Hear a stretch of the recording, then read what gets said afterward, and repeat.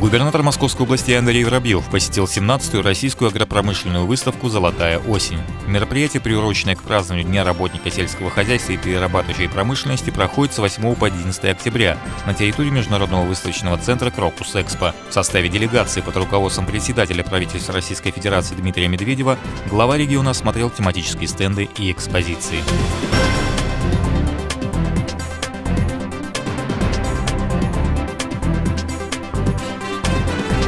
Центре переливания крови Видновской района клинической больницы прошла акция «День донора». В мероприятии приняли участие слушатели Центра профессиональной подготовки УМВД России, а также гражданские кадровые доноры и жители Ленинского района.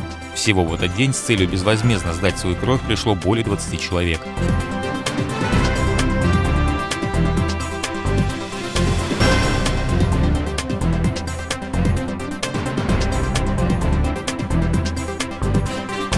Центральной библиотеке начала свою работу детская изо-студия «Радуга» в программе изучения основ изобразительной грамоты, ознакомление с видами и жанрами изобразительного искусства, проведение мастер-классов, поездки в музеи и выставочные залы.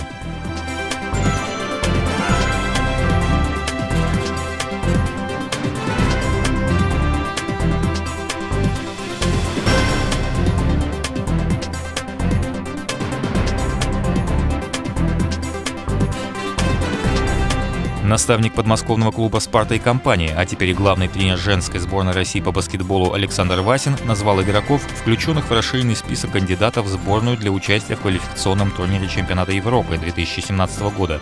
В список попали и пять спортсменок «Спарты».